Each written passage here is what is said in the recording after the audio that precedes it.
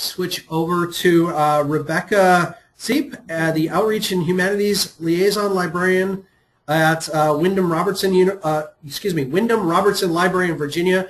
Uh, programming exclusively for university staff or blind dates with books and DVDs. Go ahead and take it away, Rebecca. Hi, thank you. Um, as he mentioned, my name is Rebecca Sipe. Um, and so before I start this program, I just wanted to mention um, a little bit about our library and the population that we serve. Um, we have about a thousand, just under a thousand um, full-time students here at the university, undergraduate and a small graduate program, and approximately 200 staff members um, are on campus full-time. So this program um, we came up with um, because it seemed like we were doing a lot of things that were exclusively for faculty.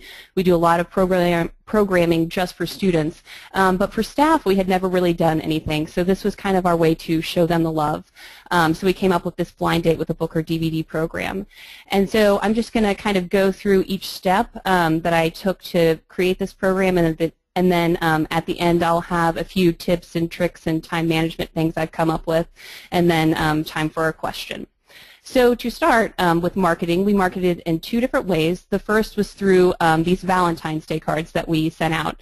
Um, I guess we sent these out um, early February, uh, probably a week and a half before the program um, actually was going to go out, which was last year, was our first year, and that was on, um, everything went out on February 14th, actually Valentine's Day, so it worked out.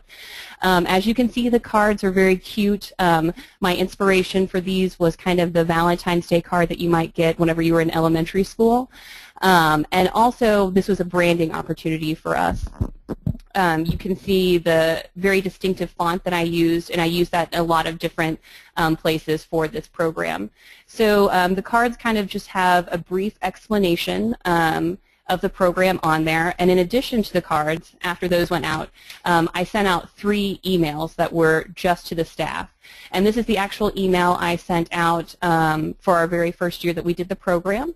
Um, as you can see, it explains a little bit more about the program. It has my contact information, um, which I could not fit on the original card. So it has my email address. And then again, with the branding, I used the same red color for um, the heart that I had used on the card and that same distinctive um, font.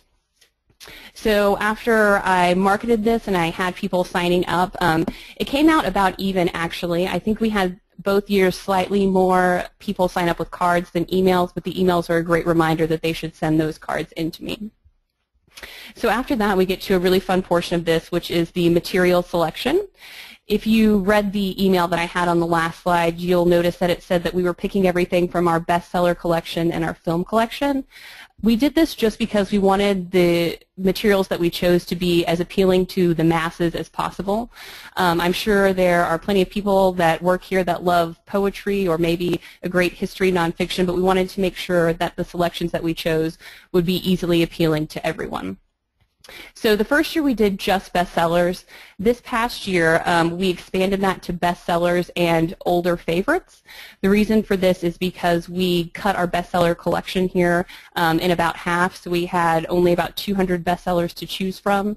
And um, also making it older favorites kind of opens up um, what you can choose for, or for these blind dates to send out to people. Which that brings me to my second point, um, which is crowdsourcing. I asked everyone in the staff to send me suggestions for things that I could send out as blind dates, and by opening it up to older favorites, people were able to put in, you know, their favorite book from, you know, whenever or their favorite movie, and so that really helped us with coming up with um, different things that we could use and send out as blind dates. So I definitely um, encourage asking people that you work with to send in suggestions or even just your friends. I had a few friends send me suggestions as well. Um, of course, browsing is another method to pull materials. I had a larger response than I anticipated the first year. I was hoping for maybe 15 or 20 people to participate, and I actually got 55. So that was a lot of different things to pull. So um, one thing I did both years actually is I did a lot of browsing. Once I had my list of things that I was going to pull, I browsed through the entire bestseller collection. And then once I went upstairs to pull older favorites, I you know kind of browsed in the P's around from from where I was pulling books. Along with material selection comes keeping track of everything because you are going to have to check these out to people whenever you send them the blind dates. So um, what I did was just a simple Excel spreadsheet. I had a column for people's names and then I had a column for books and DVDs if they were having just one or the other or both of them. Um, and this also brings up an interesting question for you. Um, Obviously, we don't keep track of what people check out, but if you're going to do this program multiple years in a row, you might consider keeping track of what you send out, um, who you send out blind dates to because you don't want to run the risk of someone getting the same thing over and over again, or probably not over and over again, but more than once. Um, so that's something that you'll just have to talk about um, amongst your staff if you feel comfortable keeping track of those or not. So um, after material selection, we have the actual delivery of items. Um, for the packaging, I have a picture right there of the blind dates for the first year. Again, they were very cute. Um, I used red and pink wrapping paper. And each blind date had a label on the front. I used that same branded font that I had for everything else for their name. And then I had that poem that I came up with to remind people of when their items were due if you decide to do this program, you're more than welcome to use that masterful um, poem that I came up with right there. Um, for delivery, oh, one other thing I should mention about packaging is that um, the reason everything came with string was because it seemed that um, actually most people got books and DVDs, so if everything had um, a ribbon around it, it was an easy way to keep those two things together. And then I did put a piece of chocolate on everyone's as well since they were getting it on Valentine's Day. Um, so for the delivery, I found that it was easiest to organize everything by building and just put it into boxes by that building rather than keeping track of things um, alphabetically. It was easier whenever you actually went to give the person their blind date um, to have it that way. And I should mention that that's kind of how this program differs than a lot of other blind date programs that you've probably heard about. We actually sent these out to people rather than people coming in and just taking a pre-wrapped thing and checking it out. These went out to everyone's office that afternoon. For the delivery, I used student workers, and um, this was for two reasons. One that I anticipated, one I did not. Um, the reason I did it to begin with last year was because I did everything else by myself, and by the time Friday came around, I had other work that I needed to do, so I asked student workers to help me um, just to take everything out that afternoon.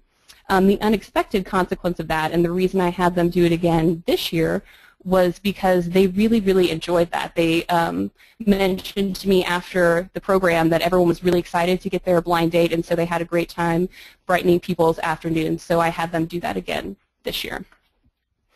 Um, lastly, a few tips and tricks and things I learned along the way. Um, you should just anticipate special requests if you do this program. Even though it says blind date, people are going to um, tell you kind of what they want. Some of them are really specific, like I do not want first-person writing. Um, some are more general, like I'd like a movie that's family-friendly, and you'll need to keep track of that on your spreadsheet as well. Just know that's going to happen. Um, another thing is legible handwriting can become an issue for the cards. So if you have a directory or a list of everyone that you sent that out to, um, that you send cards out to, it's good to keep that handy. That way you can kind of decipher a few letters and then look through your directory and then send them, them an email confirmation once you think you've figured out who it was that sent in that card. Um, the next tip I have for you is to ask for wrapping help. As I mentioned earlier, the first year I wrapped everything myself. That was 88 items, and that took an extremely long time. So this year I actually solicited help from staff members, and so we just met in a room. It took about an hour. They each had a sheet of, I think, um, six people that they were wrapping their items, and it just knocked everything out. It was so much easier. Um, another nice thing about having people help you wrap is that you also have other input for what blind dates you're going to send out. Um, these are the same people that gave suggestions, so it was really nice to have their perspective of what they can send and of things that they might have submitted as their you know, favorite book or movie they could send them to people um, in the staff. Um, another tip for the spreadsheet that you keep, I suggest organizing the spreadsheet by department. So I mentioned earlier your package is going out in a box by um, building, I recommend keeping your spreadsheet organized by department, and that way you can quickly go through and then have them by department and then put those in the box by building. And the last thing, returns, just let your circulation coordinator know that they're going to get a lot of questions on renewals, and also they might have things returned in a different manner than they're anticipating. We had a lot of things that were returned by interoffice mail, which was kind of unusual for us. All right, so that's basically um, how the program worked. Um, if you have any questions, that's my email address right there. I will also be at ACRL this year in Portland, which is next month, so if you want to talk about programming, I'm more than happy to meet up.